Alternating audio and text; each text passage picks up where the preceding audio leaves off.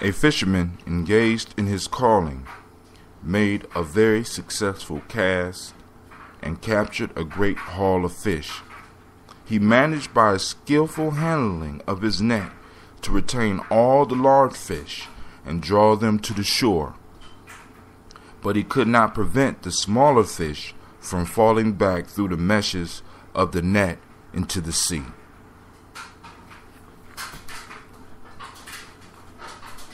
That is an Aesop fable called The Fisherman and His Nets.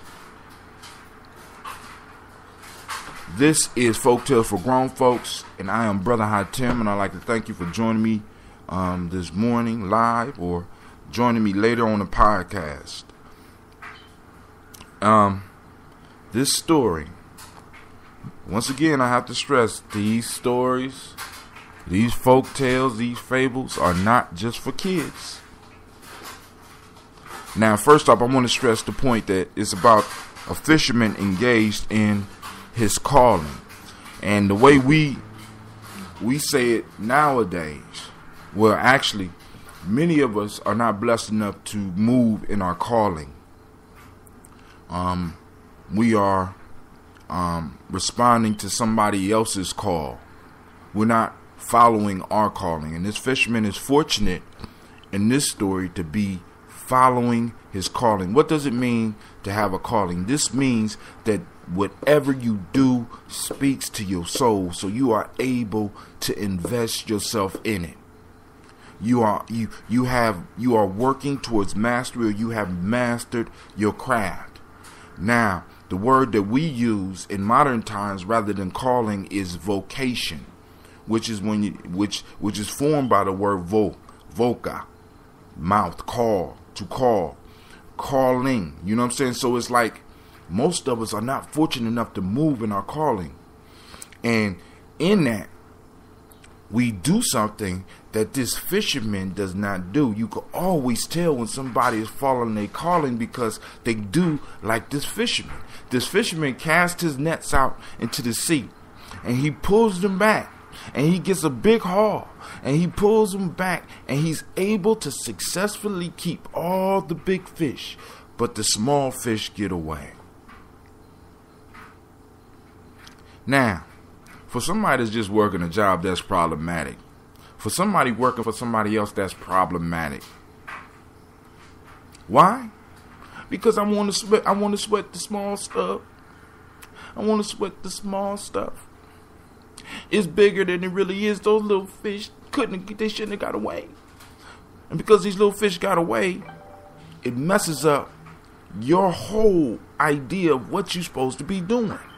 You're not focused on what you're doing. You're focused on the little fish that are getting away when you got a big net. Unlike this fisherman who is able to bring in a big haul that not only could feed his family but feed the families of his community and keep some type of economic life going within that community that he existed in. All right?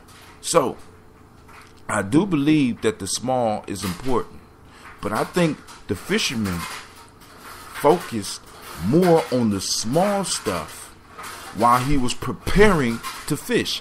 He sealed the holes in his net probably so that he would be able to hold on to the big fish. He made sure his ropes were good and wouldn't snap as he was pulling in if he was fortunate enough to get a big haul. See, his focus on the small stuff was at the beginning. Many of us, we don't focus on the small stuff in the beginning. We focus on the small stuff after we done cast the nets. And even when we're successful, because we're not following our calling, because we're not doing what we love, because we don't feel that what we are doing is adding anything to anybody, we become dissatisfied and we start sweating the small stuff too late. We be start sweating the small things that aren't even important to your existence or to the existence of what you do. You start sweating the small stuff that will not lead you to mastery. This man, being a master fisherman, probably was satisfied with what he had because he sweated the small stuff at the beginning. Um, this is Brother Haatim saying thanks.